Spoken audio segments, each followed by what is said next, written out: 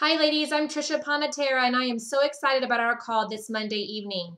I'll be talking about hostess coaching and giving you some tips. So grab a piece of paper and a pen and your favorite beverage and dial in at 9 p.m. I hope you'll join us.